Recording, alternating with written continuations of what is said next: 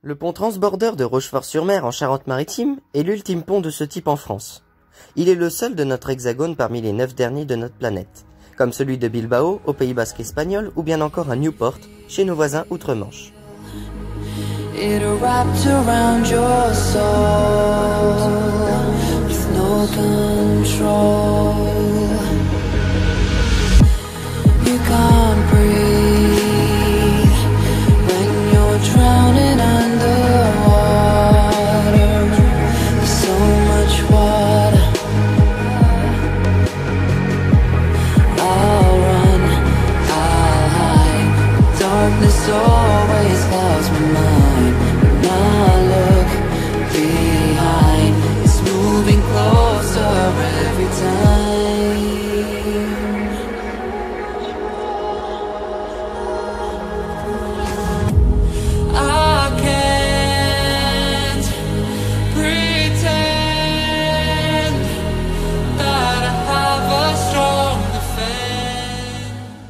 Construit à la fin du XIXe siècle sur les rives de la Charente afin de franchir cette frontière naturelle sans pour autant gêner la navigation maritime et fluviale, ce système, issu de l'imaginaire de Ferdinand Arnaudin, son concepteur, permettra de révolutionner les liaisons entre les rives de chaque lieu où ce type d'infrastructure sera construit.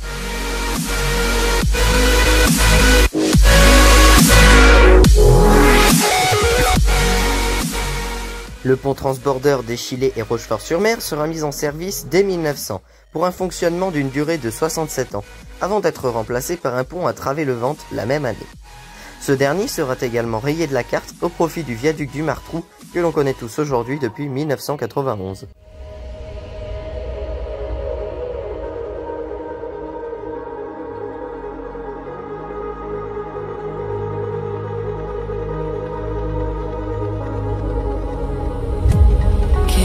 Feel it wrapped around your soul with no control. You can't breathe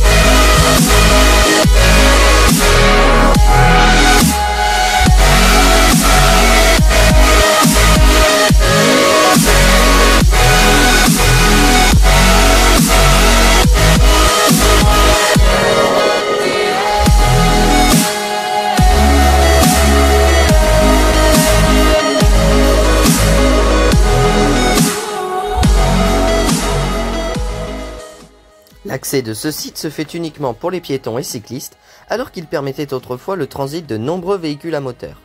Le site a récemment rouvert ses portes après quatre longues années de rénovation entre 2016 et juillet 2020 à l'occasion de ses 120 ans d'existence.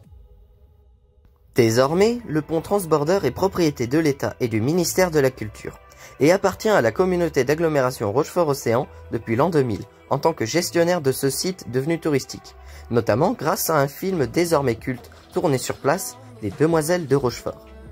Les traversées d'une rive à l'autre s'effectuent quotidiennement en saison toutes les 10 à 15 minutes, pour une durée rapide de seulement 4 minutes.